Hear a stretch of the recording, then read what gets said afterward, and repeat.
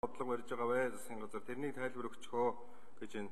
За засгийн газрыг төлөөлөөд чойжсрын сайд хариулах уу?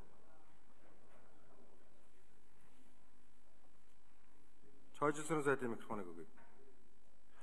За Батэрдэн сайдын асуулт